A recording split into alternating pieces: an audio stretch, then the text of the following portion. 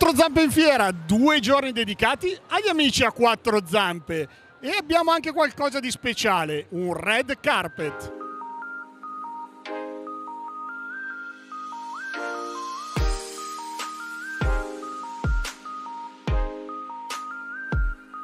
Siamo con Stefano Lamberti, uno degli editori di Quattro Zampe in Fiera.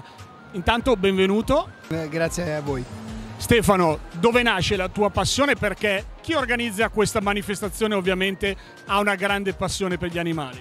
Questo fuori dubbio, eh, però diciamo che noi siamo, sono ormai sono più di vent'anni che organizziamo fiere per, dove mettiamo B2C, quindi mettiamo in contatto le aziende con il cliente finale. Quattro zampe in fiera l'abbiamo ideato nel 2013 dove per darvi qualche numero, il mondo del pet, del figlio peloso valeva un miliardo all'anno in fatturato, oggi dopo 11 anni vale 4 miliardi e mezzo. Cinzia Signoretti, lei è un volto nuoto del web. Cosa ci insegni Cinzia? Diciamo che ho, in, ho, fatto un mio metodo di educazione cinofila online, quindi aiuto i proprietari a gestirsi il proprio cane, quindi a conoscere il proprio cane, come fare, come comunica il cane, insomma corsi online e anche prodotti per il cane. Fantasticane, giusto? Sì, fantasticane. In compagnia di due sanni, e Laura e Luisa. Con i due sanni, maschietto e femminuccia. Maschietto e femminuccia. Voi siete un volto noto perché fate qualcosa di particolare. Io ballo la Sunny Dance con la mia cagnolina Sunny. Lei, col suo cagnolino, è un influencer ma ha scritto due libri dove racconta della storia del precedente cane che ha avuto sempre Beagle e ci ha accomunata questa cosa perché tutte e due con l'esperienza di un altro Beagle che abbiamo perso ci siamo ritrovate sui social e abbiamo creato le puntate dei Sunnies. Posso prendere il libro? Allora questa è una storia eh, direi anche autobiografica e anche abbastanza commovente. Esattamente, racconta la storia del mio ex cane eh, che è nato quindi con una mielopatia degenerativa, quindi è nato per nove anni, è stato nove anni su un carrellino e della mia storia personale che è molto simile a quella del mio cane e quindi è l'incontro di due anime che erano profondamente destinate ad incontrarsi.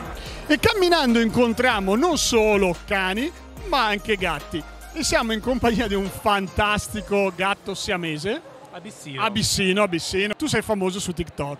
Sì, ciao, sono Nicola e lui è Sensei Cat, è un gatto un po' particolare perché comunque è un gatto che non ha paura quasi di niente, ha paura dei cavalli e degli applausi, non si fa applaudire. Squadra italiana cani salvataggio, siamo in compagnia di Gino Candeloro, ovviamente i cani ci aiutano e ci salvano.